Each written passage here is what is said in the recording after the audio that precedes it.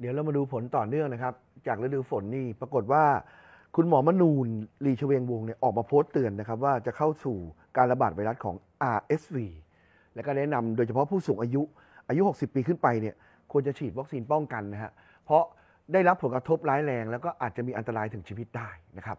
ค่ะสำหรับเรื่องของโรคที่เป็นการระบาดโดยเชื้อไวรัส RSV เนี่ยนะคะ จริงๆ แล้วเราก็เคยได้ยินมาโดยตลอดนะคะคุณผู้ชมว่ามันเกิดขึ้นกับเด็กๆ โดยเสมอๆ แต่ว่าล่าสุดข้อมูลที่ทางคุณหมอมนูนลีชเวงวงศ์แพทย์เฉพาะทางด้านโรคระบบการหายใจ โรงพยาบาลวิชัยยุทธได้โพสต์ Facebook เกี่ยวกับเรื่องของการติดเชื้อไวรัส RSV แล้วก็ระบุนะคะว่าพบผู้หญิง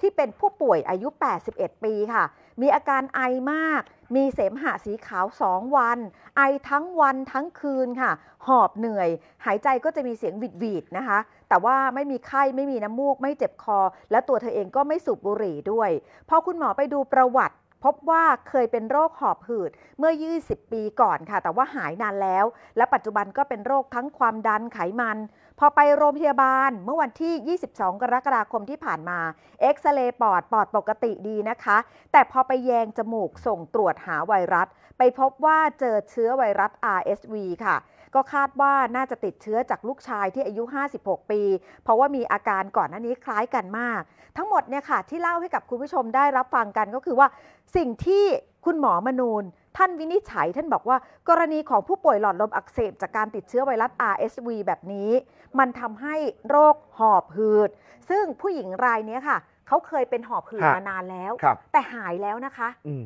ปรากฏว่าพอไปได้รับเชื้อเจ้าตัวนี้ขึ้นมา เอ้ามันกลับมากำเริบอีกอะค่ะ คือปกติเนี่ย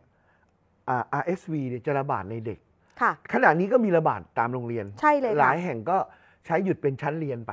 ไม่ได้หยุดทั้งโรงเรียน ถ้าระบาดเด็กอ่าอ่าสมมติเด็กประถม ก็จะหยุดเด็กประถม หรือระบาดห้องที่ใกล้เคียงก็จะหยุด แต่ตอนเนี้ยมันมีปัญหารุนแรงกับกลุ่มเสี่ยง โดยเฉพาะผู้ใหญ่อย่างกรณีคุณชาดายกตัวอย่างเนี่ย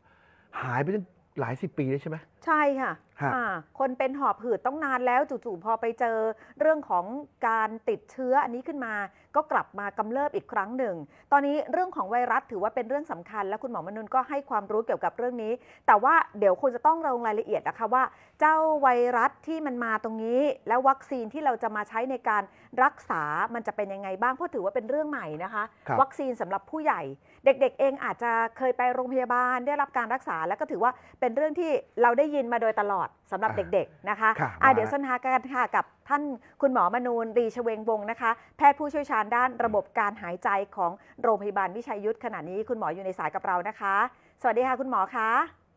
สวัสดีครับคุณอิทธิพันธ์และคุณชาดาครับครับค่ะคุณหมอครับสถานการณ์ณปัจจุบันนี้ฮะเป็นยังไงบ้างนะฮะกับการระบาดของอ่า RSV เนี่ยฮะมันกำลังเข้าสู่ฤดูการระบาดนะครับ เพิ่งเริ่มนนะคเริ่รับมเดือนฮะกรกฎาคม จะไปเพิ่มขึ้นเรื่อยๆ ถึงตุลาแล้วก็พฤศจิกาโน่นนะครับครับ แล้วกลุ่มไหนที่น่าจะห่วงใยแล้วต้องเฝ้าระวังเป็นพิเศษฮะคือเอ่อ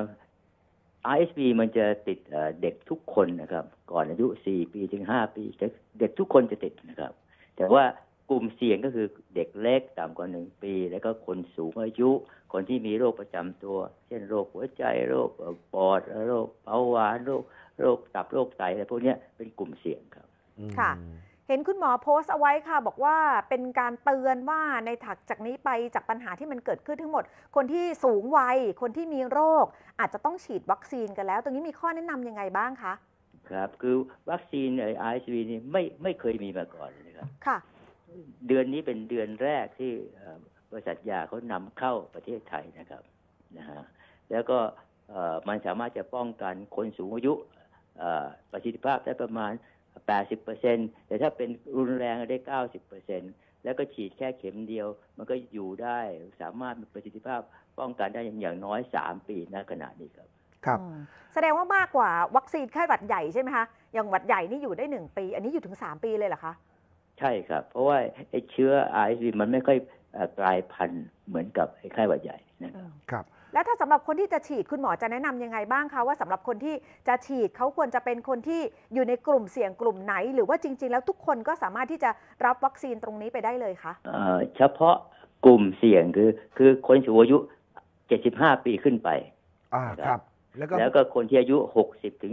74 เนี่ย เฉพาะ คนที่เอ่อเป็นกลุ่มเสี่ยงคือมีโรคหัวใจโรคปอดโรคโรคเบาหวานโรคความดันโรคอ้วนโรคภูมิคุ้มกันต่ำอันนี้เป็นเป็นกลุ่มที่แนะนำถ้าต่ำกว่า 60 ไม่แนะนำครับอ๋อเด็กๆก็เป็นแล้วเดี๋ยวก็หายคงจะไม่รุนแรงถูกไหมฮะใช่ถ้าเด็กๆเนี่ยอายุสองถึงสี่ขวบมันก็เมื่อหวัดธรรมดาเป็นเองครับหายเองครับฮะอืมทีนี้อาการนะฮะคุณหมอครับ อาการ RSV ไข้หวัดใหญ่โควิดเนี่ยมันต่างกันยังไงฮะ เพราะว่า ผมดูกันไม่ออกอะฮะอาจารย์เอ่อคือ ISV มันจะไม่ค่อยไข้สูงเท่าไหร่อ่านะครับครับ แล้วก็มันก็จะไม่ค่อยปวดหัวปวดตัวเหมือนกับไข้หวัดใหญ่ครับนะฮะคือมันจะไอซีมันจะมีไอมากเลย มันจะมีไอแล้วก็มีเสมหะนะครับอ่าบางคนอาจจะมีน้ำมูก อาจจะมีเจ็บคอหน่อย แต่ส่วนใหญ่มันจะอ่าไอแล้วก็หายใจลำบากเหนื่อยมีเสียงวีดวีดแล้วบางคนมันก็จะลงปอด ทำให้ปอดอักเสบทำให้หายใจลำบากได้ครับอืม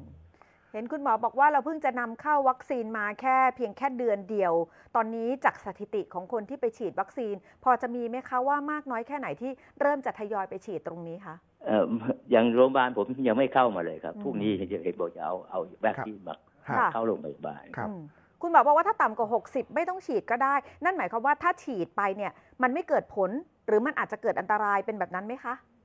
คือคือในต่างประเทศเขาก็ไม่แนะนำนะครับ ว่าต่ำกว่า60ไม่แนะนำ60ถึง74เฉพาะคนที่มีโรคประจำตัวนะอืม75ขึ้นไปถึงจะแนะนำไม่ฉีดผมว่ามันขึ้นกับความคุ้มค่าของวัคซีนนะครับครับกับอืมเงินที่เสียไปนะครับอืมเพราะว่าเอ่อราคามันก็ค่อนข้างค่อนข้างแพงนิดหน่อยครับประมาณเกือบเหยียบหมื่นเหมือนกันนะครับอืมครับ เพราะฉะนั้นถ้าฉีดทุกคนมันก็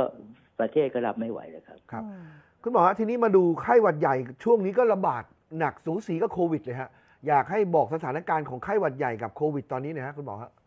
คือไข้หวัดใหญ่ตอนนี้ก็มาแรงมากครับนะครับเอ่อติดกันเป็นว่าเล่นเลย ติดกันเป็นกลุ่มก้อนเหมือนกันนะครับ เหมือนกับโควิดนะครับครับคือสองสองโรคนี้มาคู่คู่กันไปเลยนะครับแต่ไข้หวัดใหญ่กำลังมาแรงขนาดนี้ครับและเพราะฉะนั้นเอ่อคนไหนที่ไม่ได้ฉีดวัคซีนไข้หวัดใหญ่ปีนี้ควรจะไปรีบฉีดนะครับ เพราะว่าไอ้ฉีดของปีที่แล้วมันไม่สามารถจะป้องกันปีนี้ได้นะครับ ครับ อืม แล้วโควิดนะฮะโควิดยังแนะนำให้ฉีดอยู่ไหมครับเพราะตอนนี้รู้สึกคนก็จะจะอาการมันน้อยมากฮะคุณหมอ โคโควิดนะครับสำหรับคนที่เอ่อเคยเอ่อฉีดมาแล้ว เคยติดมาแล้วเอ่อไม่ไม่ไม่ต้องไปฉีดก็ได้ครับนะแต่คนกลุ่มเสี่ยงคือกลุ่มสูงอายุมากๆ แล้วก็ไม่เคยฉีดวัคซีนแม้แต่เข็มเดียว แล้วก็ยังไม่เคยติดโควิดด้วย แนะนำให้ไปฉีดอย่างน้อยหนึ่งเข็มครับอือืมม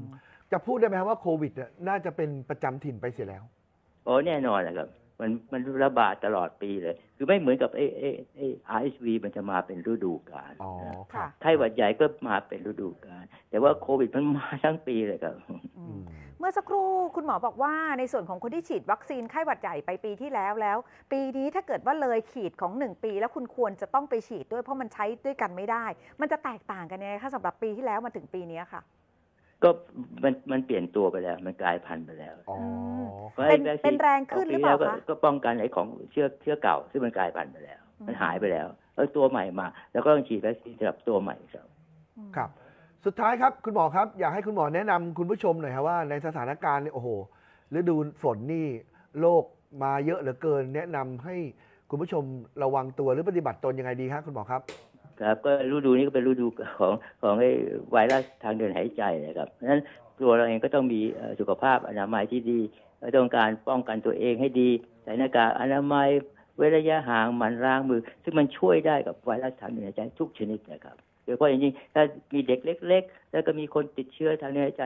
ก็อย่าไปใกล้เขาอยู่ห่างๆเขา นะครับ แล้วก็หมั่นล้างมืออย่าเอามือเออที่ไปจับสิ่งของใช้ร่วมกัน เอามาขยี้ตามาแคะจมูกอันนั้นจะนำเชื้อโรคเข้าสู่ตัวเองครับ ก็หมายความว่าถ้าไปในจุดเสี่ยงหรือไปที่มีคนเยอะการใส่หน้ากาก